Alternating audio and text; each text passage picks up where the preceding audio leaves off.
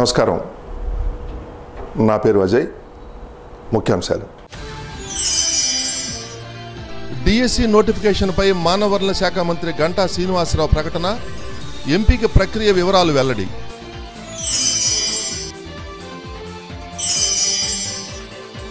రవాణా మరియు పోలీసు శాఖ సంయుక్త ఆధ్వర్యంలో రహదారి భద్రతా అవగాహన కార్యక్రమం రోడ్డు ప్రమాదాల పట్ల ప్రతి ఒక్కరూ అప్రమత్తంగా ఉండాలన్న జిల్లా SP Bhusarapu Satyayesubabu.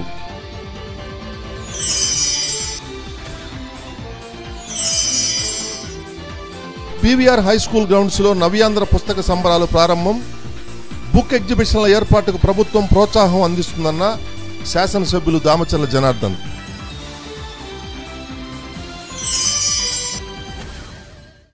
నిరుద్యోగులు ఎప్పుడెప్పుడా ఎదురు చూస్తున్న డిఎస్సి నోటిఫికేషన్పై మానవ వనరుల శాఖ మంత్రి గంటా శ్రీనివాసరావు ప్రకటన విడుదల చేశారు.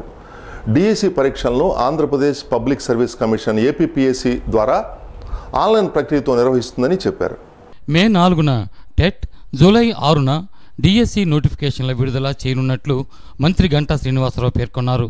ఆరు కేటగిరీల్లో పదివేల మూడు వందల యాభై ఒక్క పోస్టులను భర్తీ చేయనున్నట్లు ఆయన చెప్పారు. SGT SA PET language pandit music కేటగిరీలలో ఖాళీలు భర్తీ చేస్తామని పేర్కొన్నారు. వచ్చే విద్యా సంవత్సరానికి ఉపాధ్యాయులు అందుబాటులో ఉండేలా జూన్ పన్నెండవ తేదీ కల్లా భర్తీ ప్రక్రియ పూర్తి చేస్తామని ఆయన పేర్కొన్నారు.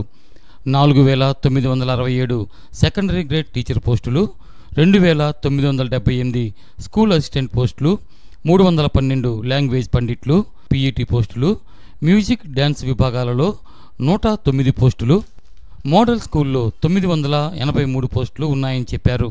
జూలై ఏడవ తేదీన నోటిఫికేషన్. జూలై ఏడు నుండి ఆగస్టు తొమ్మిది వరకు దరఖాస్తు గడువు. ఆగస్టు పదిహేను రెండు వేల పద్దెనిమిదిన హాల్ టికెట్ల మంజూరు. ఆగస్టు ఇరవై మూడు నుండి ముప్పైవ తేదీ వరకు రెండు సెషన్లలో ఉదయం తొమ్మిది గంటల ముప్పై నిమిషాల నుంచి పన్నెండు గంటల ముప్పై నిమిషాల వరకు మధ్యాహ్నం రెండు గంటల ముప్పై నిమిషాల నుండి ఐదు గంటల ముప్పై నిమిషాల వరకు పరీక్షలు ఆగస్టు ముప్పై ఒకటిన ప్రాథమికకి విడుదల ముప్పై ఒకటి నుండి సెప్టెంబర్ ఏడవ తేదీ వరకు అభ్యంతరాల స్వీకరణ సెప్టెంబర్ పదిన ఫైనల్కి విడుదల సెప్టెంబర్ పదిహేనున తుది ఫలితాలు ప్రకటిస్తామని మానవ వనరుల శాఖ మంత్రి గంటా శ్రీనివాసరావు తెలియజేశారు. అలాగే second grade teachers language pandits PETs others అన్నీ కలిపి పదివేల మూడు వందల పదమూడు పోస్టులు దీన్ని ఫైనలైజ్ చేయడం జరిగింది. వీటితో పాటు అడిషనల్ వేకెన్సీస్ ఇన్ శాంక్షన్ పోస్టులు ఇంకొక రెండు కేటగిరీలో ఉన్నాయి. అవి స్పెషల్ నీడ్స్ సంబంధించిన ఈ శాంక్షన్డ్ ఎస్సీ పోస్టులు అంటే ఈ స్పెషల్ ఎడ్యుకేటర్స్ అని. ఇది ఒక ఎనిమిది వందల అరవై పోస్టులు ఇవి ఉన్నాయి. అలాగే AP model school phase one vacancies ఒక పదకొండు వందల తొంభై ఏడు.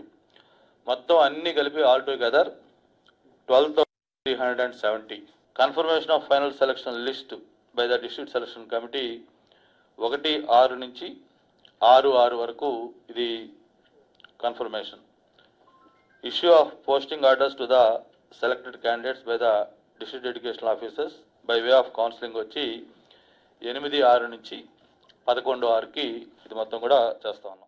ప్రభుత్వ విభాగాలు స్వచ్ఛంద సంస్థలు ఎన్ని అవగాహన కార్యక్రమాలు నిర్వహించినా అకారణంగా రోడ్డు ప్రమాదాల్లో ప్రజల ప్రాణాలు కోల్పోవటం అత్యంత విషాదకరమని జిల్లా ఎస్పీ బోసారపు సత్య యేసుబాబు అన్నారు. రోడ్డు ప్రమాదాల పట్ల ప్రతి ఒక్కరూ అప్రమత్తంగా ఉండాలని సూచించారు. రవాణా మరియు పోలీసు శాఖ సంయుక్త ఆధ్వర్యంలో ఒంగోలులోని స్వాతి కళ్యాణ మండపంలో రహదారి భద్రత అవగాహన సమావేశం నిర్వహించారు.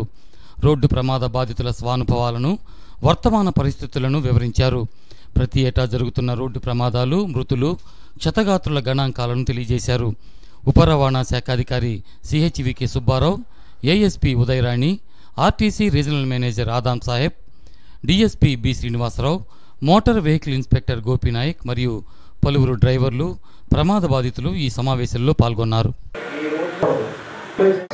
దేశ సంరక్షణకి ఆర్మీలోకో పోలీస్ డిపార్ట్మెంట్లోకో వచ్చి ప్రాణాలు వదిలి అమరులైతే వారిని అమరవీరుల కింద మనం పూజిస్తాము. అలాగే వారిని కన్నా తల్లిదండ్రుల్ని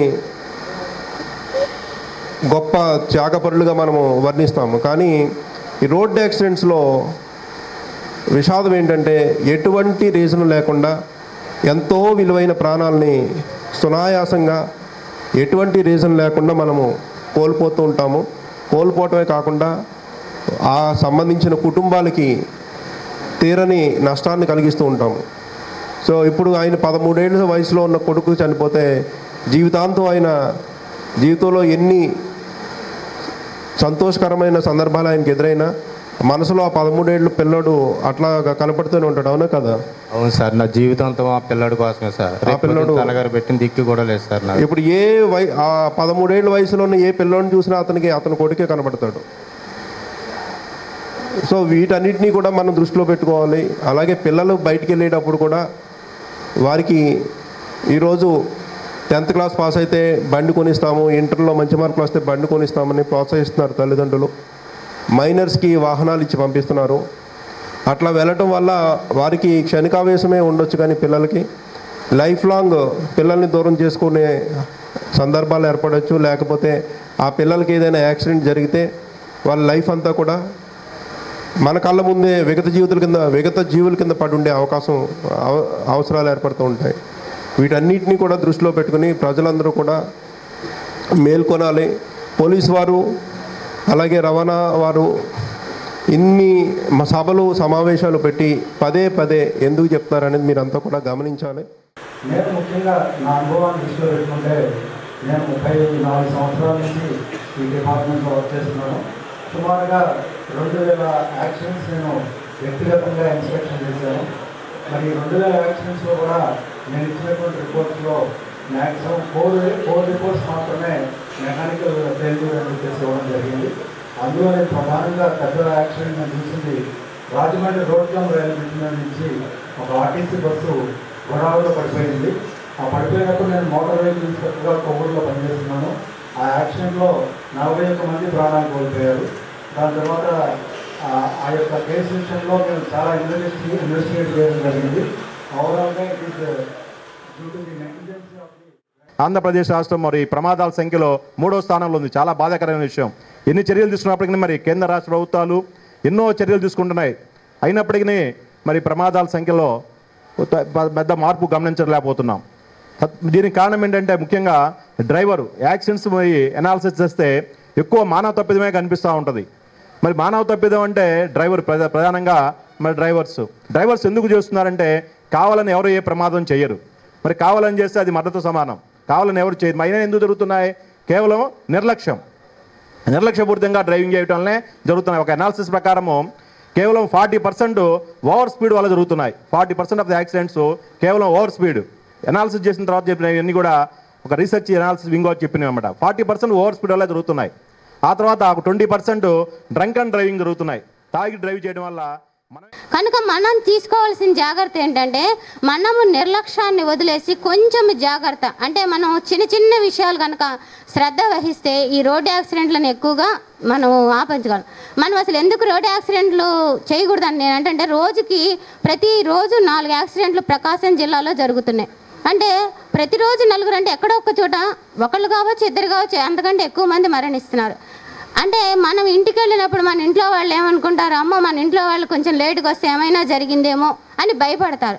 ఆ భయం లేకుండా మనం అందరం చాలా హ్యాపీ అంత వ్యాపార వాతావరణంలో జీవించాలనుకుంటే ఇది వినడమే కాదు ఆ దయచేసి ఆ ఆచరణలో కూడా మన గౌరవ ఎస్పీ గారు ఇచ్చినటువంటి సూచనలు సలహాలని ఏవైతే ఉంటాయో ఆ ఆచరణలో తీసుకురండి. మీ ఫ్యామిలీస్తో మీరు హ్యాపీగా ఉండండి. అన్నప్పుడు చిన్నగా డ్యూ టర్న్ తీసుకొని జాగ్రత్తగా నడపండి. అది మనం చెప్పగలిగేది. ఏం వెనకేమి రావట్లేదు అని చెప్పి మనం సర్రని చెప్పామంటే ఇక సర్రనే ఇక అది వెనక మళ్ళీ కొట్టేస్తాడు ఇంకా అంతే. వాడు ఏ స్పీడ్ మీద వస్తున్నాడో మనకేం తెలియదుగా నేను ఇప్పుడు చేసింది అదే. సైకిల్ తీసుకుని వెళ్తున్నాను. నేను నా పాటికి నేను యూ టర్న్ తీసుకుని రైట్ వెళ్తున్నాను. వెనక మాల వాడు అంత దూరంలో ఉన్నాడు. సరే నాకేం కాదులే అనుకోండి. తీసుకున్నాడు వాడు బర్రను వచ్చి కొట్టేశాడు. కొట్టేసరికి అయిపోయింది. ఇంకేముంది రైట్ కాల్ పోయింది. ఇప్పుడు పరిస్థితి ఇంకా నాగోల్పురపాడు రోడ్ అయితే ఇప్పుడే కన్స్ట్రక్షన్ అవుతుంది. ఆ రోడ్లో కూడా మలుపులు చాలా ఉన్నాయి. రోడ్ కన్స్ట్రక్షన్ అవుతుంది. అటు నుంచి కూలీలు కూలీ కోసం ఎక్కువ జనాలు ఆటోలోనే ప్రయాణిస్తున్నారు. చాలా కేసులు రాసాం మేము కౌన్సిలింగ్ కూడా పెట్టాం. అయినా కూడా వాళ్ళ మార్పు రావట్లేదు. దయచేసి అందరూ కూడా ఓవర్లోడ్ ఆ పాసింజర్ ఆటోలో ఎక్కించుకోకుండా తగిన పాసింజర్స్ ఎక్కించుకొని వాళ్ళ గమ్యం చేర్చవలసిందిగా మరియు ఆ, ఆల్కహాల్ తీసుకోకుండా ట్రై చేయాలని నేను కోరుకుంటూ ఈ అవకాశం ఇచ్చిన ముస్లిం యువత దేశవ్యాప్తంగా పెడదవ పడుతున్నారన్న ప్రచారం నేపథ్యంలో ఖురాన్ సూక్తులతో రూపొందించిన గోడ పత్రికను ముస్లిం హక్కుల పరిరక్షణ సమితి అధ్యక్షుడు అయూబ్ ఆవిష్కరించారు. ఈ కార్యక్రమంలో నజీర్ సిరాజ్ షంషుద్దీన్ మరియు పలువురు ముస్లిం పెద్దలు పాల్గొన్నారు. ముస్లిం యువత దేశవ్యాప్తంగా పెడద్రోవ పడుతుందనేది ఒక ప్రచారం జరుగుతూ ఉంది. ముస్లిం యువత మీద దేశవ్యాప్తంగా ఈరోజు కావాలని చెప్పి కొన్ని దుష్ట శక్తులు ఒక పథకం ప్రకారం వాళ్ళని అనేక కేసుల్లో ఇరికించే పరిస్థితి ఈరోజు మనం దేశవ్యాప్తంగా చూస్తూ ఉన్నాం. మరి మా సమాజం బాగుండాలి. మరి దేవుని సూక్తులు ఏదైతే ఉన్నాయో మా చివరి ప్రవక్త మొహమ్మద్ సల్లల్లా అలైహి ఏదైతే ఆయన సిద్ధాంతాలు ఆదేశాలు ఏదైతే ఉన్నాయో ఖురాన్లోని కొన్ని సూక్తుల్ని ఈరోజు తీసుకొని మరి ఈరోజు గోడ పత్రికను ఆవిష్కరించడం జరిగింది. ఒక మానవుని చంపినవాడు సమస్త మానవుల్ని చంపిన వాడితో సమానం. అలాగే ఒక మానవుని ప్రాణం కాపాడినవాడు సమస్త మానవుల ప్రాణాన్ని కాపాడిన వారితో సమానం అనేది మరి సూరా ఆల్ మైదా మరి ఖురాన్లో ఇది తెలియపరుస్తుంది మాకు. అలాగే స్వర్గాన్ని పొందాలన్న ఆకాంక్ష ఉంటే ముస్లిం సిద్ధాంతము అందరినీ అనుకూలమైనటువంటిది పవిత్రమైనటువంటి సిద్ధాంతాన్ని మేము పాటిస్తుంటే ముస్లింలు ఆ విధంగా పాటించి మా మా పని మేము చేసుకుంటూ పోతుంటే మమ్మల్ని ఏదో విధంగా హింసించాలి ఏదో విధంగా కేసులు విరికించాలి అనే ఆంశ ఆశయాలు విధించి ఒక ముస్లిం మేక మాంసం తింటే ఆవు మాంసం తిన్నాడని అప్పటికప్పుడు కథలు చేశారు. అది ఎంత దుర్మార్గం అనేటి విధానం.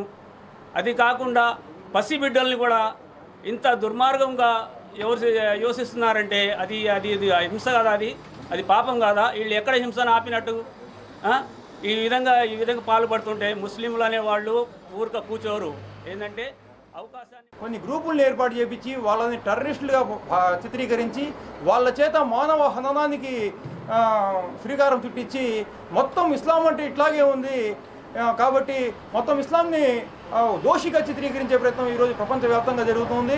ఇదే నేపథ్యంలో భారతదేశంలో కూడా ఇస్లాంల పట్ల ఇస్లాంలో మొత్తం హింసాత్మకమైన సంఘటనల్ని గ్లోబల్ ప్రచారం లాగా ముందుకు తీసుకురావటం ఈ క్రమంలోనే అసలు ఇస్లాం అంటే శాంతి సందేశం ఇస్లాం అంటే ప్రేమ ప్రవచనాలు అని చెప్పి తెలియజేసినటువంటి ఇలాంటి గో గోడపత్రికల్ని ఆవిష్కరించడం మొత్తం భారతదేశంలో ముస్లింల పట్ల ముస్లింలు భారతదేశానికి అనుకూలంగా భారతదేశం పట్ల రహదారి నిబంధనలు ప్రతి ఒక్కరూ తప్పనిసరిగా పాటించాలని ఒంగోలు శాసనసభ్యులు దామచల్ల జనార్దన్ సూచించారు.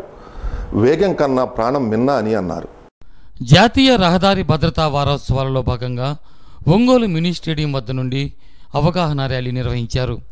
రవాణా శాఖ deputy commissioner CHVK Subba Rao Zilla Parishad vice chairman doctor Noxani Balaji Ongole traffic DSP K Venugopal రవాణా శాఖ అధికారులు గోపీనాయక్ కార్తీక్ అంకమరావు రాములు ఏవో ఆర్ సుశీల తదితరులు ఈ కార్యక్రమంలో పాల్గొన్నారు. భద్రత వారోత్సవం సందర్భంగా ఈరోజు ఒంగోలులో మన ఆర్టీఓ గారు అదేవిధంగా మన బ్రేక్ ఇన్స్పెక్టర్ గారు మన ట్రాఫిక్ డిఎస్పీ గారు అందరూ కూడా డీలర్స్ కూడా అందరూ కూడా డీలర్స్ ఎవరైతే షోరూమ్స్ ఉన్నాయో డీలర్స్ కూడా అందరూ కూడా ఈరోజు ఒక రోడ్ షో మాదిరి అవగాహన సదస్సుగా పెట్టడం జరిగింది.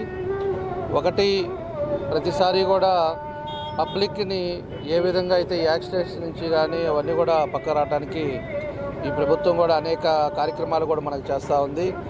ఈరోజు ఇంట్లో నుంచి బయటికి వెళ్ళి మళ్ళీ ఇంటికి వస్తారో లేదో అని ఇంట్లో వాళ్ళు ఎదురు చూసే పరిస్థితి కాకుండా ప్రతి ఒక్కరు ఏదైతే ఈరోజు గవర్నమెంట్ ప్రికాషన్స్ ఇస్తుందో హెల్మెట్ ధరించడం కానీ లేకపోతే డ్రింక్ అండ్ డ్రై డ్రైవ్ లేకుండా ఉండటం కానీ అదేవిధంగా కార్ డ్రైవ్ చేసేటప్పుడు కానీ సెల్ ఫోన్స్ కానీ ఇవన్నీ కూడా ప్రికాషన్స్ తీసుకోవాలని చెప్పి ప్రభుత్వం కూడా ఎప్పుడు కూడా చెప్తా ఉంది. ఎక్కడికక్కడ బోర్డ్స్ కూడా ఇవన్నీ కూడా పెట్టడం జరిగింది.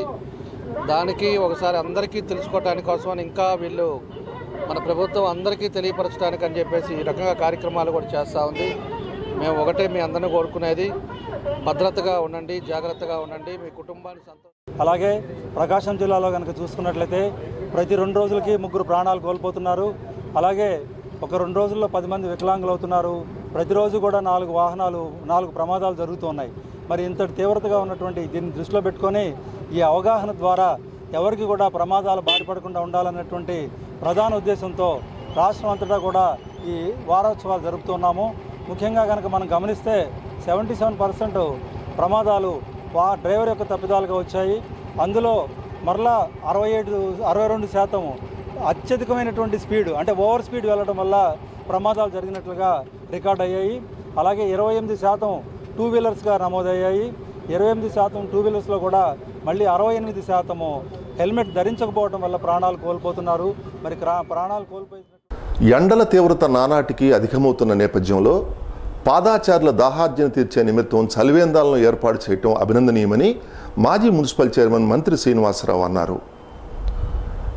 సామాజిక సేవా కార్యక్రమాల్లో ముందుంటున్న కాపు సంఘం నాయకులు గాదె కృష్ణారావుని ఆయన ప్రత్యేకంగా అభినందించారు.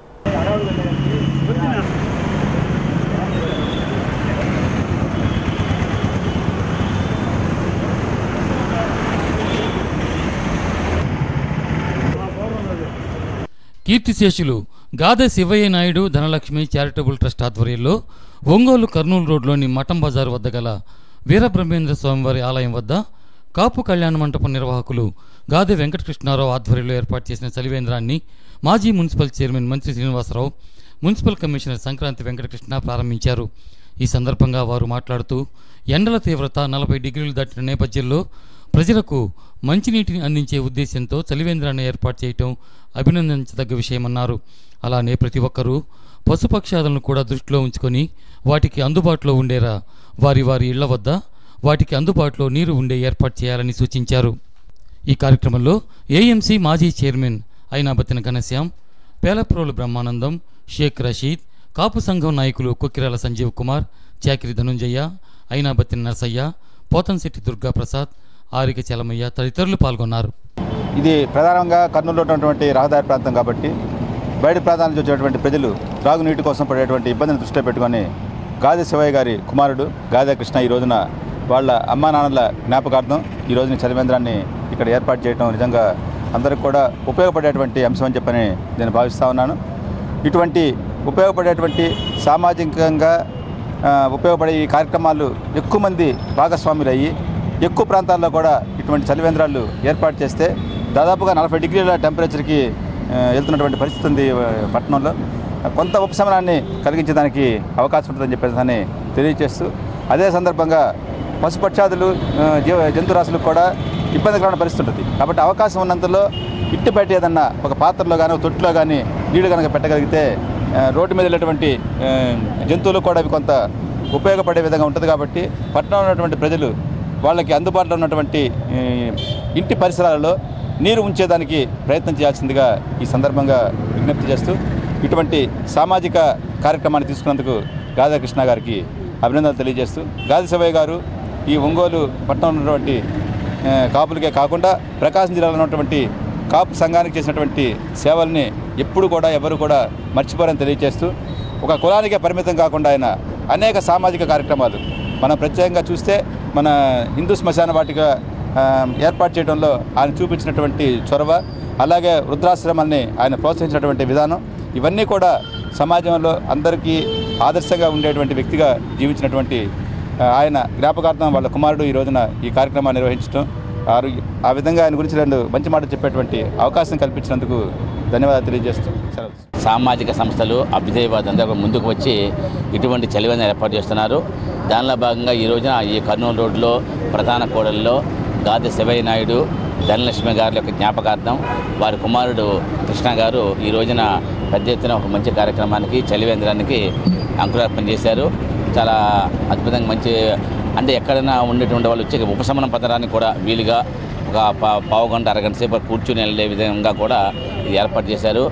ఒక ఉపశమన కేంద్రం లాగా చాలా సంతోషం. తప్పనిసరిగా ఇటువంటి మంచి కార్యక్రమాల ద్వారా కూడా మనం ఈ యొక్క సమాజంలో ఈ యొక్క సమాజం తీసుకున్నటువంటి లబ్ధికి మన వంతు బాధ్యతగా మనం కూడా స్పందించాలన్నటువంటి ఇక్కడ వేలాది మంది రోజు రాకపోకలకి అందరు రావటం జరుగుతుంది అందువల్ల ఇక్కడ దాహాది తీర్చాలనే ఉద్దేశం మన కృష్ణా గారికి ఇప్పుడు కాదు. గత పదేళ్ళ నుంచి ఆయన రెగ్యులర్గా చేస్తూ ఉన్నారు. ఆయన అభినందిస్తూ ఈ కార్యక్రమంకి వచ్చేసిన పెద్దలందరికీ అభినందిస్తూ అట్లానే అన్ని రకాలుగా వచ్చిన పెద్దలందరూ ఇదే రకంగా స్ఫూర్తిగా తీసుకొని అన్ని చోట్ల అరేంజ్ చేయడం వల్ల మన విలేజ్ నుంచి వచ్చే బాటసారులకు కానీ కార్మికులకు కానీ అందరికీ నీటి సౌకర్యం అందించడం అనేది గొప్ప విషయం. ఇట్లానే మున్సిపాలిటీ తరఫున కూడా కమిషనర్ గారు చాలా చాలా పాయింట్స్ అరేంజ్ చేశారు. వారిని కూడా అభినందిస్తూ అట్లానే మన గాద శివయ్య గారి కుమారుల్ని అందరినీ వాళ్ళ యొక్క కుటుంబ సభ్యులందరినీ ఈ సందర్భంగా అభి అభినందనలు ప్రజలకు తీపి కబురు చెబుతుంది భారత వాతావరణ శాఖ ఐఎండీ. ఈ ఏడాది తొంభై ఏడు శాతంతో వర్షపాతం ఆశాజనకంగా ఉంటుందని వాతావరణ శాఖ అధికారులు అంటున్నారు. రెండు వేల పద్దెనిమిదో సంవత్సరానికి సంబంధించి తొలి వాతావరణ అంచనాలను విడుదల చేసింది భారత వాతావరణ శాఖ ఐఎండీ. గడిచిన రెండేళ్ళ మాదిరిగానే ఈ ఏడు మంచి వర్షాలు కురిసి పంటలు బాగా పండుతాయని అంటున్నారు. జూన్ నెల నుంచి సెప్టెంబర్ వరకు నాలుగు నెలల దీర్ఘకాల సగటు తొంభై ఏడు శాతంగా ఉంటుందని వాతావరణ నిపుణులు అంచనా వేస్తున్నారు. పసిఫిక్ మహాసముద్రంలో కొనసాగుతున్న లానినో కూడా బ్యాలెన్స్ అవుతుందని చెప్పారు.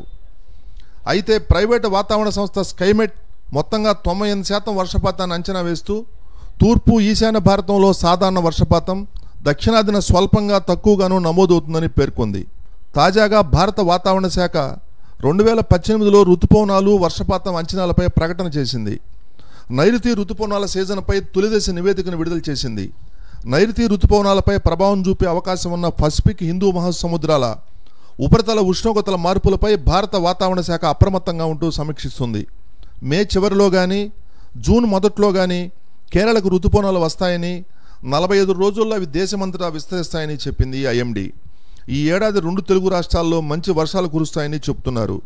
ఈసారి దీనిపై మే పదిహేను తర్వాత మరోసారి స్పష్టమైన ప్రకటన చేస్తామని వాతావరణ శాఖ అధికారులు తెలిపారు. Feel that India is going to experience third successive normal monsoon with an quantitative figure of ninety seven percent plus minus five that's what is our assessment Uh, at the moment. And as uh, is presented, we will be closely watching uh, temperature and other changes. సబ్సిడీపై LED బల్బులను అందజేస్తున్నట్లు విద్యుత్ శాఖ SC Subbaraju తెలియజేశారు original విద్యుత్ bill Aadhaar card జిరాక్స్లను సమర్పించి యాభై రూపాయలకే రామ్నగర్లోని విద్యుత్ భవన్లో ఎల్ఈడి బల్బులను పొందవచ్చని ఆయన పేర్కొన్నారు ఇప్పుడు కొన్ని వాణిజ్య ప్రకటనలు ప్రజలలో పుస్తక పట్టణం పట్ల ఆదరణ పెంచేందుకు ప్రభుత్వం బుక్ ఎగ్జిబిషన్ ఏర్పాటు చేసేందుకు ప్రోత్సాహాన్ని ఇస్తుందని ఎమ్మెల్యే దామచల్ల జనార్దన్ అన్నారు. పీవీఆర్ బాలూరు హై స్కూల్ గ్రౌండ్స్లో ఏర్పాటు చేసిన నవ్యాంధ్ర పుస్తక సంబరాలను జనార్దన్ ప్రారంభించారు.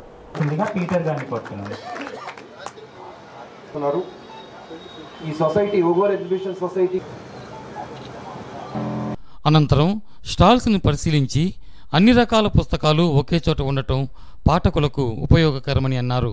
ఈ అవకాశాన్ని ప్రజలందరూ సద్వినియోగం చేసుకోవాలని కోరారు. నవ్యాంధ్ర పుస్తక సంబరాలు ఒంగోలులో ఏర్పాటు చేసిన నిర్వాహకులను ప్రత్యేకంగా అభినందించారు. ఈ కార్యక్రమంలో ఒంగోలు బుక్ ఫెస్టివల్ సొసైటీ అధ్యక్షులు doctor PV Rama Rao Prajasakti book house Vijayawada Lakshmaiah Navyandhra రచయిత్రుల వేదిక గౌరవ అధ్యక్షురాలు టి అరుణ డాక్టర్ నూనె అంకమరావు తదితరులు పాల్గొన్నారు.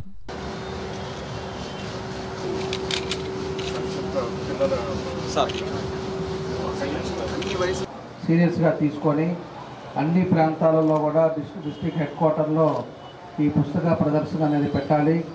పుస్తకాల వల్ల మనకు వచ్చే విజ్ఞానాన్ని కూడా అందరూ కూడా చేసుకోవాలనే ఉద్దేశంతో ఈరోజు అన్ని ప్రాంతాల్లో పెడుతున్నారు. మన విజయవాడలో పెట్టినప్పుడు ముఖ్యమంత్రి గారు అదేవిధంగా వెంకయ్యనాయుడు గారు కూడా ఆ రోజు పార్టిసిపేట్ అయ్యారు. కాబట్టి దీన్ని ఈరోజు ఎన్టీఆర్ ట్రస్ట్ కూడా దీంట్లో వాళ్ళు ఒక స్టాల్ పెట్టడం ఇవన్నీ కూడా జరుగుతూ ఉన్నాయి. దీనికి ఏదైనా కూడా అందరూ కూడా ఉపయోగించుకోవాలనేదే మా ఉద్దేశం. ఈరోజు పూర్తిగా ఎక్కడైతే ఎవరైతే ఉన్నారో ఇక్కడ లోకల్గా ఉండే తల్లిదండ్రులు పిల్లలతో పాటు వచ్చి వాళ్ళకి సంబంధించిన బుక్స్ అన్నీ కూడా పర్చేజ్ చేసుకొని దానికి తగ్గట్టుగా దీన్ని ఉపయోగించుకోవాలని చెప్పి. డాక్టర్ ఎంఎస్ హర్నాథరావు గారు నంది అవార్డు గ్రహీత ఎన్నో పరిషత్ నాటకాలలో నాట- నాటికలు ఆడి వాటిని మనకి నంది అవార్డు కూడా అనేకసార్లు తీసుకున్నటువంటి వ్యక్తి. అట్లాగే కొనకల అప్పారావు గారు ప్రజాశక్తి ఎడిషన్ ఇన్ఛార్జిగా ఉన్నారు. సో జర్నలిజంలో కొత్త పోకట్లు జర్నలిజం గురించి బాగా ప్రసంగించారు. సీనియర్ జర్నలిస్ట్ అయినా సో వాడిద్దరికి ఒక పేరు ప్రాంగణానికి ఒక పేరు ఈ యొక్క వేదికకి పెట్టి ఈ యొక్క Ongole book exhibition society NTR trust వారి సహకారంతోనూ విజయవాడ బుక్ ఫెస్టివల్ వారి సహకారంతోనూ ఏర్పాటు చేయడం జరిగింది అని మళ్ళీ మీకు తెలియజేస్తూ రేపటి నుంచి జరిగే పిల్లలకి రేపటి నుంచి మీ అందరికి తెలియజేసేది ఏంటంటే ఈ పని గవర్నమెంట్ పని. పుస్తకాలు అమ్మటం సాహిత్యం సంస్కృతిని ప్రజల్లో ప్రచారం చేయటం వ్యక్తులే కాదు సంస్థలే కాదు. మొత్తం గవర్నమెంట్ ఇన్వాల్వ్ చేయాల్సిన పని. యాక్చువల్గా వరల్డ్ బుక్ పేరు ఢిల్లీలో జరిగితే వంద కోట్లు కేటాయిస్తుందండి వచ్చారు డిపార్ట్మెంట్. హ్యూమన్ రిసోర్స్ డిపార్ట్మెంట్ వంద కోట్లు కేటాయించింది ఈ పని గవర్నమెంట్ యాక్చువల్గా ఇంతకాలం నుంచి చేయలేదు కానీ గత రెండు సంవత్సరాల నుంచి ఎన్టీఆర్ ట్రస్ట్ సపోర్ట్ తోటి విజయవాడ బుక్ ఫెస్టివల్ సపోర్ట్ తోటి నిర్వహిస్తున్నాం. అందులో భాగంగానే లైబ్రరీ కమిటీ చేసింది గవర్నమెంట్. దానికి ఒక అధ్యక్షుల్ని ఏర్పాటు చేసింది. బహుశా లైబ్రరీస్ని పునరుద్ధరిస్తానని చెప్పి చంద్రబాబు నాయుడు గారు ఒంగోలులో ప్రామిస్ విజయవాడలో ప్రామిస్ చేశారు. గత సంవత్సరం రాజమండ్రి లైబ్రరీ బుక్ ప్రారంభం. వాణిజ్యపరంగా రోజు రోజుకు అభివృద్ధి చెందుతున్న ఒంగోలు నగరంలో ఇబ్బడి ముబ్బడిగా ప్రకటనల బోర్డులు హోర్డింగ్లు ఏర్పాటవుతున్నా మున్సిపల్ కార్పొరేషన్కి మాత్రం ఆదాయం ఆశించిన మేర రావటం లేదు. కాసులకు కకృతి పడిన కొందరు అధికారుల అవినీతితో కార్పొరేషన్ ఆదాయానికి భారీగా గండిపడుతుంది.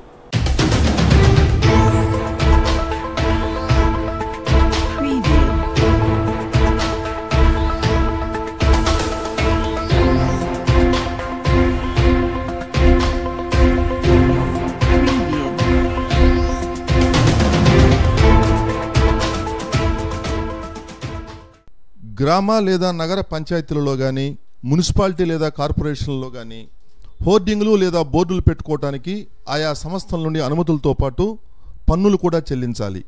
దుకాణాల వద్ద పెట్టుకునే బోర్డులకు కూడా పరిమాణాన్ని బట్టి ఏడాదికి ఇంతని వినోద పన్ను కట్టాలి.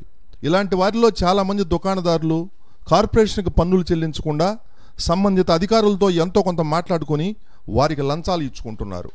ఒంగోలులో ఇలాంటి తంతు జోరుగా సాగుతుంది. ఎందుకంటే ఈ బోర్డులు హోర్డింగుల వసూళ్ళ వ్యవహారం చూసేది టౌన్ ప్లానింగ్ సెక్షన్.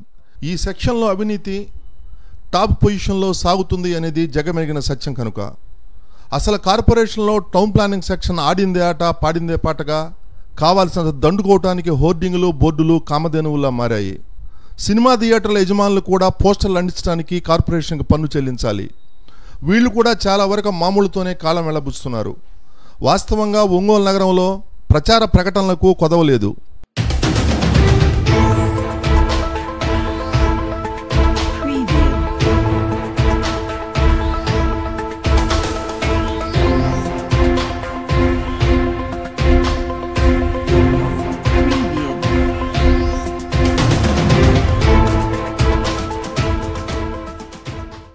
రాజకీయ నాయకులవి వ్యాపార ప్రకటనలు కాలేజీలు హాస్పిటల్స్ తదితర హోర్డింగులు కుప్పలు తెప్పలుగా దర్శనమిస్తున్నాయి. వీటిలో డెబ్బై శాతం వరకు అనధికారికంగా ఏర్పాటు చేసినమని సమాచారం. వీటి గురించి పెద్దగా పట్టించుకునే వాళ్ళు లేకపోవడంతో కొందరు ఉద్యోగులు కార్పొరేషన్ ఆదాయానికి గండి కొట్టి అక్రమ సంపాదనకు తెగబడుతున్నారు. బోర్డులు హోర్డింగులు ఏర్పాటు చేసే వారిలో నేరుగా వచ్చి చెల్లించే వాళ్ళ నుంచి మాత్రమే పన్నులు వసూలు చేస్తున్నారు తప్ప బోర్డులు హోర్డింగుల ఏర్పాటుపై నిఘా లేనందున టౌన్ ప్లానింగ్ సెక్షన్ అక్రమార్కులకు కాసుల పంట పండుతుంది. రాష్ట్రం విడిపోయే పదమూడు జిల్లాలుగా ఉండిపోవటం ఒంగోలు రాజధానికి దగ్గరగా ఉండటం వ్యాపారులు వైద్యులు తమ సంస్థల ఏర్పాటుకు ఆసక్తి చూపడంతో ఒంగోలు నగర పరిధి విస్తృతమైంది. దీంతో వినోదపు పన్ను కూడా బాగా పెరిగే అవకాశం ఉంది కనుక ఉన్నతాధికారులు టౌన్ ప్లానింగ్ సెక్షన్ అవినీతిపై దృష్టి సారించి ప్రకటనల బోర్డులు హోర్డింగుల మీద వచ్చే ఆదాయాన్ని నేరుగా కార్పొరేషన్కే వచ్చేలా చర్యలు చేపట్టాలని ప్రజలు కోరుతున్నారు. అడ్వర్టైజ్మెంట్ ట్యాక్స్కి సంబంధించి నగరపాలక సంస్థలో దాదాపు మనం ఎక్కడ కూడా హోర్డింగ్స్ ద్వారా మాత్రమే మనం కలెక్ట్ చేస్తున్నాము. అంటే హోర్డింగ్కి సంబంధించి కూడా ఒకటి దానికి సంబంధించినటువంటి స్క్వేర్ మీటర్కి ఎంత చొప్పున ఆ హోర్డింగ్కి సంబంధించినటువంటి రేటు ఫిక్స్ చేస్తున్నాము సంవత్సరం మొత్తానికి ఒకసారి. దాంతోపాటు అది ఎక్కడైతే మనం నిలబెడుతున్నాం కాబట్టి కొంత స్పేస్ని మున్సిపాలిటీ స్పేస్ని ఆక్యుపై చేస్తున్నాం కాబట్టి ఎంకరేజ్మెంట్ ఫీజు కూడా వసూలు చేస్తున్నాం. అంటే అడ్వర్టైజ్మెంట్ ట్యాక్స్తో పాటు ఎంక్రోచ్మెంట్ ఫీజు కూడా కలిసి ఉంటుంది. రెండు కలిస్తేనే హోర్డింగ్కి డబ్బులు వస్తున్నాయి. ఫర్ ఫర్ ఎగ్జాంపుల్ ఒక హోర్డింగ్ ఇరవై ఇంటూ ఇరవై. హోర్డింగ్ ఉంటే కనుక అంటే ఆరు మీటర్లు ఇంటూ ఆరు మీటర్లు ముప్పై ఆరు మీటర్లు ఉంటే కనుక దానికి ప్రిస్క్రైబ్ రేట్ ఉంది? ఏముంది? ఉదాహరణకి పది స్క్వేర్ మీటర్ల వరకు కూడా ఉంటే కనుక దానికి వంద రూపాయలు మనకి ఎంక్రోచ్మెంట్ ఫీ ఉంది. అదేవిధంగా టూ పాయింట్ ఫైవ్ స్క్వేర్ మీటర్లు ఉంటే కనుక నాలుగు వందల యాభై రూపాయలు నాన్ ఇల్యూమినేషన్ బోర్డుకి ఇల్యూమినేషన్ బోర్డుకి అయితే కనుక తొమ్మిది వందల రూపాయలు two point five square metre ఉంటే ఉంది. వీటిని ఫిక్స్ చేసుకొని మనం ఆ విధంగా ఎవరైతే హోర్డింగ్స్ పెట్టుకుంటున్నారో వాళ్ళ దగ్గర నుంచి డబ్బు ఖర్చు చేస్తున్నామో.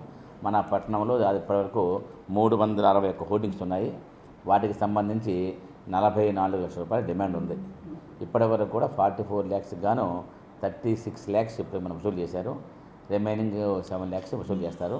కాబట్టి ఇప్పుడు మనం చాలా వరకు హోర్డింగ్ తగ్గిస్తున్నాం. ఇంకా ఎక్కడైతే మనకి ఇబ్బందికరంగా ఉందో మనకి గ్రీన్ బెల్ట్ దగ్గర అదేవిధంగా గాంధీ పార్క్ దగ్గర కొన్ని చోట్ల చాలా ఇబ్బందికరంగా ఉంచో హోర్డింగ్ తీసాము తీసివేసినప్పుడు కూడా వేరే వేరే చోట అవకాశం ఉంచో మళ్ళీ ఇస్తున్నాము.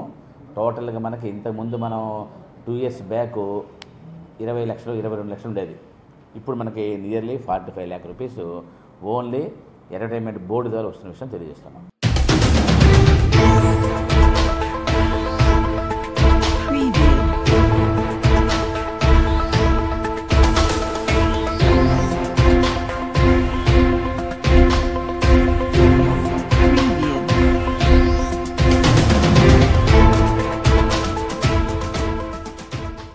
వేసవిలో ఒంగోలు ప్రజలకు ఆహ్లాదాన్ని పంచేందుకు సెవెన్ హిల్స్ ఎగ్జిబిషన్ను పీవీఆర్ బాలర్ హై స్కూల్ గ్రౌండ్స్లో ఏర్పాటు చేశారు.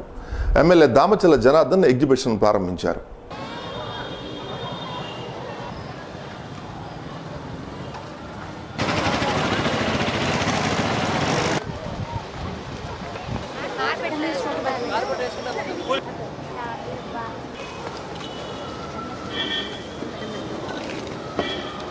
జూన్ ఆరవ తేదీ వరకు ప్రతిరోజు సాయంత్రం నాలుగు గంటల నుండి ఆరు గంటల వరకు నిర్వహిస్తున్నట్లు నిర్వాహకులు జి శ్రీనివాస్ మర్రి వెంకటేశ్వర్లు గాలం వెంకటేశ్వర్లు తెలియజేశారు. ఎమ్మెల్యేతో పాటు నగర అధ్యక్షుడు కె నాగేశ్వరరావు తదితరులు ఈ కార్యక్రమంలో పాల్గొన్నారు.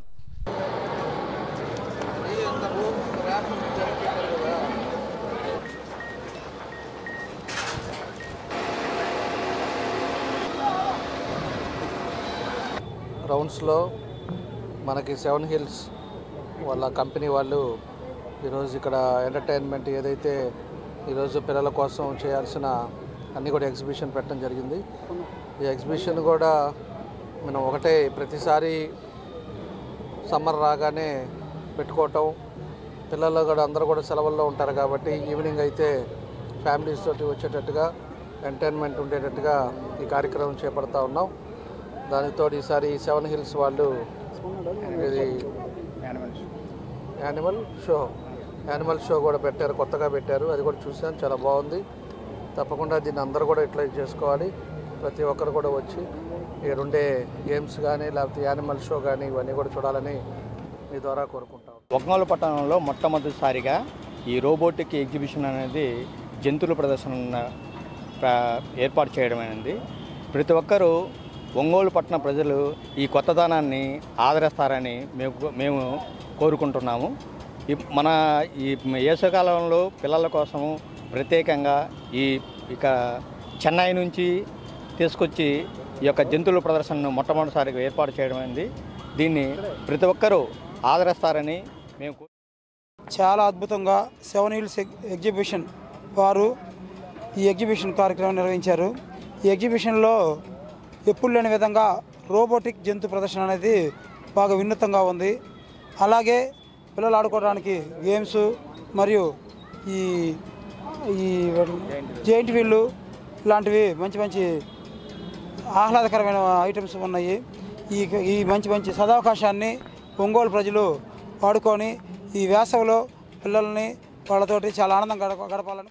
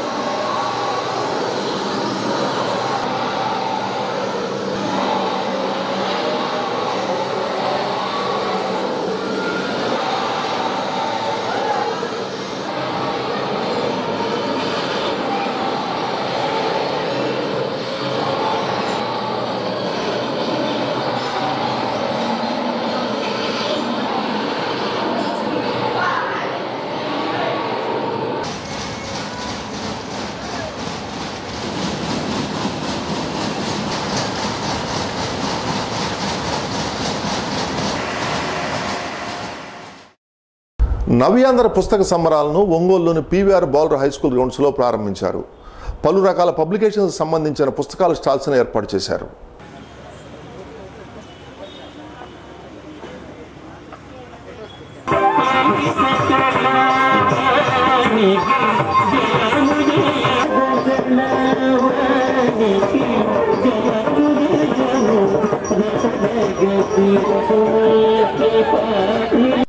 స్టాల్స్ను ఏర్పాటు చేసినట్లు నిర్వాహకులు తెలిపారు. ప్రకాశం జిల్లా రచయితలు ముద్రించిన పుస్తకాలతో ప్రత్యేకంగా ఒక స్టాల్ను ఏర్పాటు చేయటం పట్ల సాహితీవేత్తలు ఆనందం వ్యక్తం చేశారు. ఆరవ తేదీ వరకు బుక్ ఎగ్జిబిషన్ సాగుతుందని అన్నారు. ప్రతిరోజు ఆరు గంటల నుండి సాంస్కృతిక కార్యక్రమాలు ఏర్పాటు చేస్తున్నారు. ఇందులో భాగంగా నళిని ప్రియ కూచిపూడి నృత్య అకాడమీ వారు చేసిన కూచిపూడి నృత్య ప్రదర్శన ఎంతగానో అలరించింది.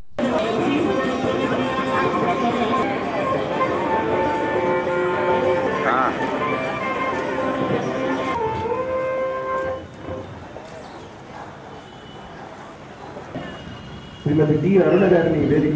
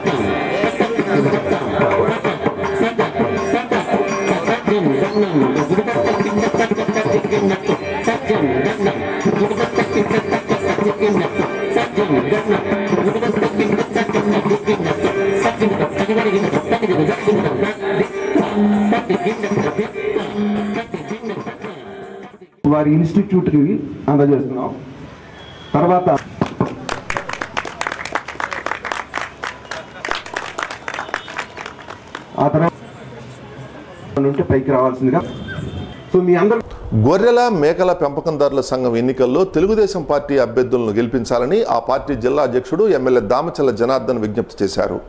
తెలుగుదేశం పార్టీ అభ్యర్థుల ప్యానెల్ను ప్రకటించారు. టీడీపీ అభ్యర్థుల ప్యానెల్ను ఆయన ప్రకటించారు.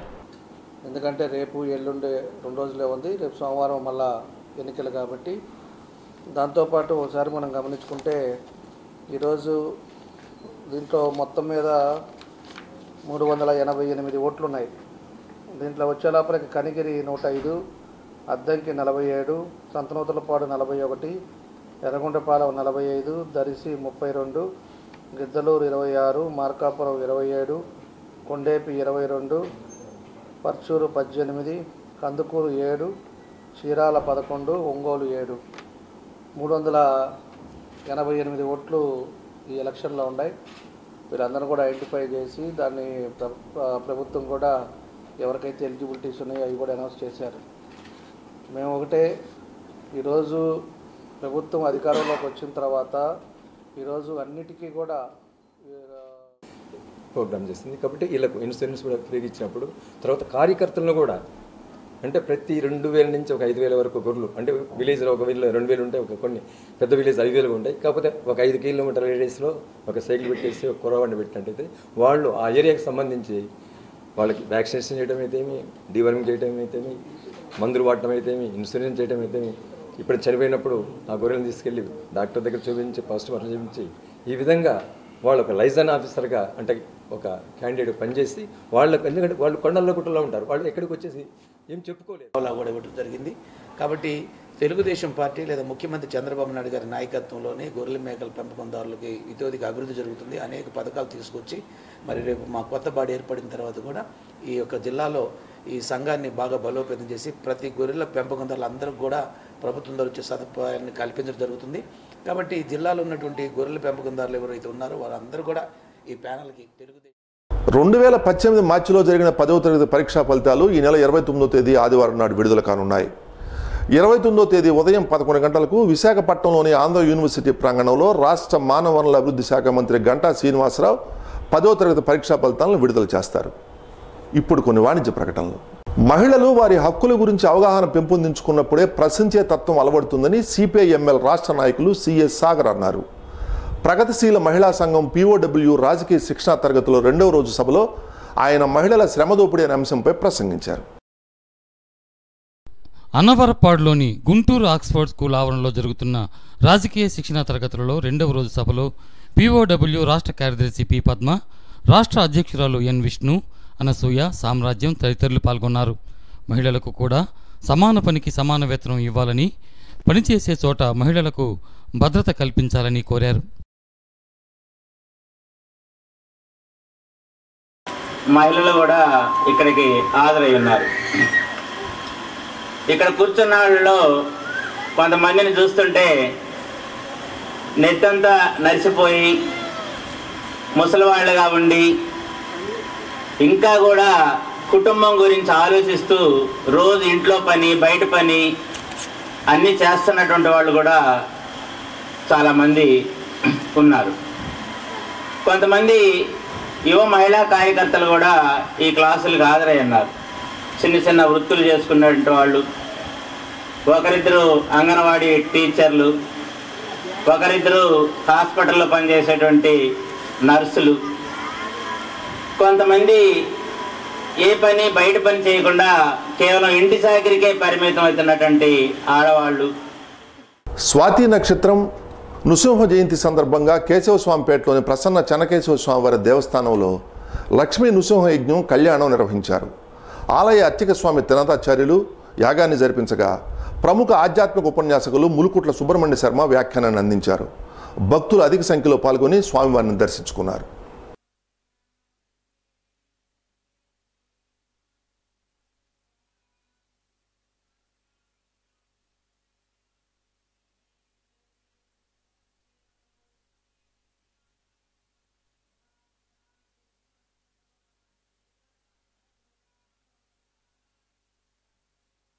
فيهما حين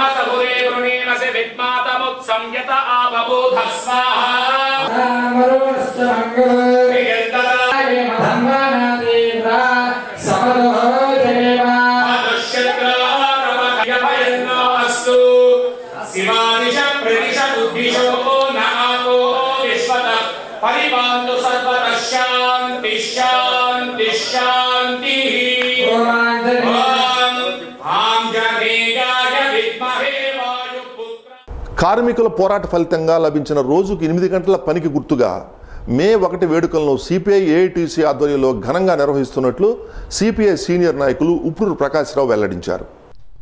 ఒంగోలులోని మల్లయ్య లింగం భవన్లో జరిగిన విలేకరుల సమావేశంలో ఆయన మాట్లాడారు. ఉదయం సిపిఐ పార్టీ కార్యాలయం వద్ద జెండాను ఆవిష్కరించి అనంతరం అద్దంకి బస్టాండ్ వద్ద నుంచి ర్యాలీగా బయలుదేరి సిపిఐ పార్టీ కార్యాలయానికి చేరుకుంటామని చెప్పారు. ఈ విలేకరుల సమావేశంలో ఏఐటియుసి నగర కార్యదర్శి మస్తాన్ ముఠా కార్మిక సంఘం అధ్యక్షులు కందుకూరు సుబ్బానాయుడు సిపిఐ నాయకులు పి నరసింహం షేక్ రసూల్ సాహెబ్ తదితరులు పాల్గొన్నారు. కార్మికులు ఆ రోజు ఉన్నటువంటి పెట్టుబడిదారు విధానం యొక్క కబంధ హస్తాలు దిక్కుని రోజు పద్దెనిమిది గంటలు పనిదినంగా చేస్తా. కనీసం వాళ్ళ పిల్లల ముఖాలు కూడా చూడకుండా పిల్లలు నిద్రపోయినాక ఇంట్లోకి వచ్చి నిద్రలేసేవి మళ్ళా కర్మాగారాలు పోయే పరిస్థితుల్లో ప్రపంచవ్యాప్తంగా పద్దెనిమిది వందల ఎనభై ఆరులో జరిగిన కార్మిక ఉద్యమాల ఫలితంగా షికాగో నగరంలో జిల్లాలోని దివ్యాంగులు సబ్సిడీ రుణాలు పొందేందుకు ఆన్లైన్ ద్వారా దరఖాస్తు చేసుకోవాలని జిల్లా వయోవృద్ధుల వికలాంగుల హిజ్రాల సంక్షేమ సంఘం ఏడి బి సింగయ్య ఒక ప్రకటనలో తెలియజేశారు. ఓబీఎంఎంఎస్ వెబ్సైట్ ద్వారా రుణాల కోసం దరఖాస్తు చేసుకోవాలని ఆయన సూచించారు. ముఖ్యాంశాలు మరోసారి. డిఎస్సి నోటిఫికేషన్పై మానవ వనరుల శాఖ మంత్రి గంటా శ్రీనివాసరావు ప్రకటన ఎంపిక ప్రక్రియ వివరాలు వెల్లడి.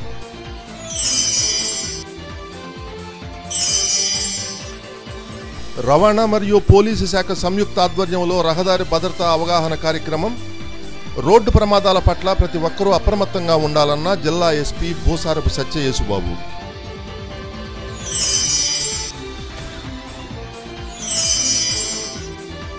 PVR high school గ్రౌండ్స్లో నవ్యాంధ్ర పుస్తక సంబరాలు ప్రారంభం బుక్ ఎగ్జిబిషన్ల ఏర్పాటుకు ప్రభుత్వం ప్రోత్సాహం అందిస్తుందన్న శాసనసభ్యులు దామచర్ల జనార్దన్.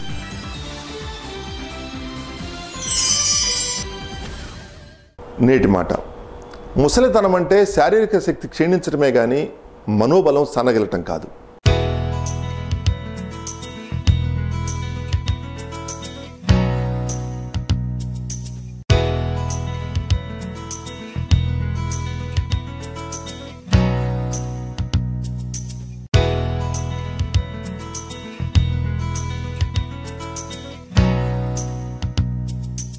న్యూస్ సమాప్తం.